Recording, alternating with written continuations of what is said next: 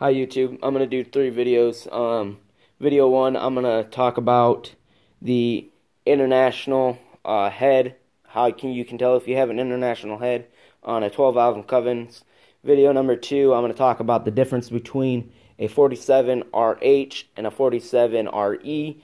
And video number three, I'm going to kind of touch base on uh, hooking up Arduino to control the 47 RH fourth uh, fourth gear and torque converter lockup. So this being video number one, I'm going to be talking about the how can you tell if you have a Dodge Cummins, or not a Dodge Cummins, an international head on your 12 valve Cummins.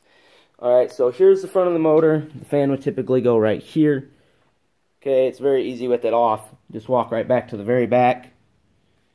Right in between your last valve cover and your second to last one if you look straight down there, now it'll probably be covered with some oil and stuff like this one is, but right there, if you look at that, that is the international logo.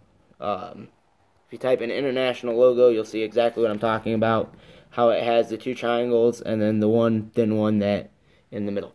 So that is an international, that's a newer international logo. Don't get be confused with the IH logo. Um, that's the IH logo. That's, like I said, that's the newer one. That's where you find it. Um, you can also have an international block that will be behind the timing cover.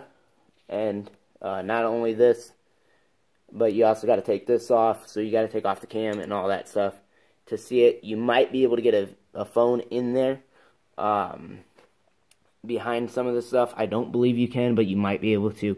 I don't know everything on these motors. I just know a little bit. Um, so if you guys have any questions, maybe I can answer them. If I can't, well, I'll just simply say I can't answer it. I don't want to claim to know something I don't. But I do hope this helps you identifying if you have an international head. Um, and also, I will touch and say that the international block, if you do by chance have an international block, and you do find out you do, um, you definitely want to make sure that you keep up on the coolant because it's don't get me don't be mistaken for the 53 block, but the international block because international did make one. Um, on the international block, the water jets are a little bit, or the water uh, for the coolant passages, they're a little bit thinner than the Cummins, the Dodge uh, made one. So you pretty much just want to make sure that you keep the temperature down, allows the pressure to stay lower in the water uh, jacket holes so it doesn't crack in there and you don't see water in your oil.